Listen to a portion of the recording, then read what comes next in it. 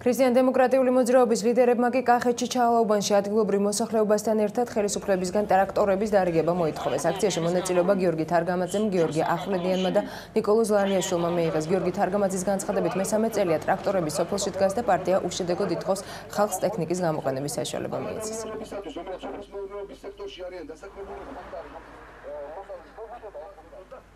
ყოველწლიურად საპარლამენტო დებატები იქნება საბიუჯეტო გამოსვლებით. პრეზიდენტს მთავრობას ვთხოვ ვემუდარებით, რომ დაიწყოთ ამ მიმართულებით ინვესტიციების ჩადება, კარგად გათვლილი სტრატეგიული გეგმის განხორციელება. შედეგად მივიღეთ სრული იგნორირება, იგნორირება ქართული სოფლის, ქართული ეკონომიკის, ქართული ხალხის ინტერესებს. ამის გამოა რომ დღეს ხალხი შემშილობს, ამის გამოა რომ დღეს ჩვენი ქვეყანა სოციალური ფუნქციაა. ვეჯინიდან ავართ, იქ რა ვიცი, მე ტრაქტორი არ მინახია. სად უნდა მივიდე და აქ უნდა მოვიდე ვეჯინელი კაცი, აქ რა უნდა კაცო. ან თითოეულ სოფელზე გაანაწილონ ორ-ორი ტრაქტორი, ან თითო ტრაქტორი რაღაც, ან სამ სოფელზე ორ სოფელზე ერთი ტრაქტორი.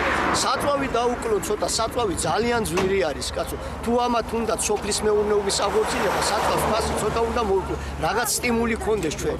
მეორე მთავარი საკითხი რაც არის, რომ მოვიყვანთ მოსავალს, რაც მოყვავს, რასაც ხარჯავთ, იმას ვერ ვიღებთ რეალიზაციის შემდეგ.